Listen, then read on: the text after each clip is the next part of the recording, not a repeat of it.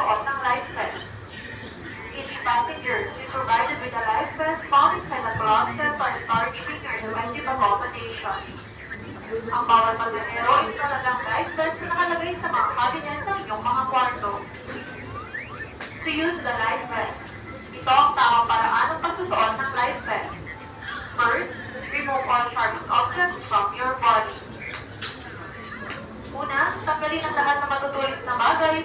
sa inyong katawan.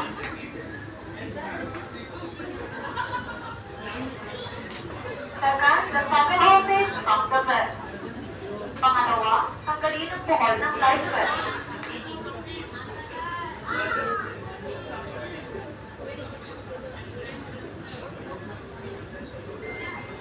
Third, keep the vest over your head and onto your shoulders. Pangatlo, isuot ang vest sa leeg at balikat.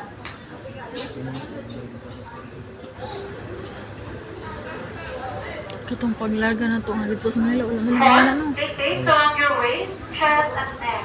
Make sure that all ends are secure and tight. Pang-apat, ibuhol ang taling matatagpuan sa bandang bewang, dibdib at leeg.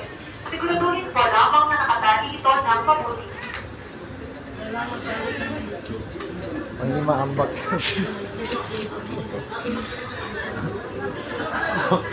Mo naman na isolusyon. Gasot sa chocolate jacket. Ambak na eh. Familiar yourself with our exit points nearest your accommodation.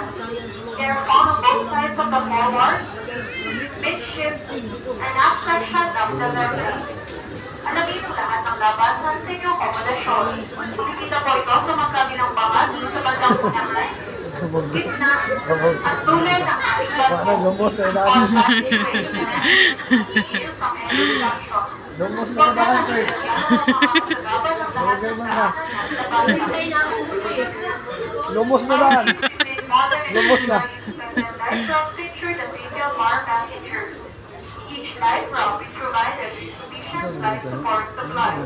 Signal. Whistle isa. Umat bang. Nakahikot naman diha. Nakahikot. Isa ba kung saan nakaipot na?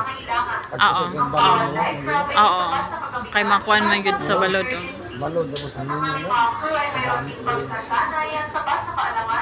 upang tumulong sa inyo sa lahat ng pagkakataon. Ladies and gentlemen, you have to see the proper way of using the life vest.